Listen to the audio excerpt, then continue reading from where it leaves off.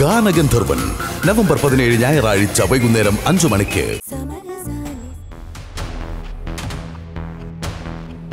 എന്തായാലും ശ്രാവണിയുടെ സാന്നിധ്യം സീതയ്ക്കും സ്വാതിക്കും ഇടയിൽ പ്രശ്നങ്ങൾ ഉണ്ടാക്കിയത് അവർ വന്നത് തന്നെ ആ പ്രശ്നത്തിന് കാരണം.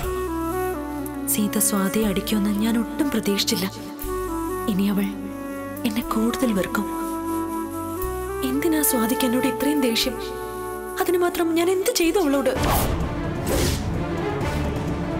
എന്ത് ചെയ്തു ചേച്ചിയുടെ ഈ സ്നേഹം അഭിനയല്ലേ ചേച്ചി? മനസ്സിൽ എന്നോട് പകയും വെറുപ്പുമല്ലേ? രാജേശ്വരി അമ്മയെ ചേർന്ന് എന്നെയും കല്യാണിനെയും ഇല്ലാതാക്കാനല്ലേ ചേച്ചി ഇങ്ങോട്ട് വന്നത്? സീത പറഞ്ഞതുപോലെ ഞാൻ അഭിനയിക്കുകയാണ്. അതെന്റെ സഹോദരിമാർക്ക് മുമ്പിലല്ല. രാജേശ്വരി മാഡത്തിന് മുമ്പിലാണ് ഞാൻ അഭിനയിക്കുന്നത്.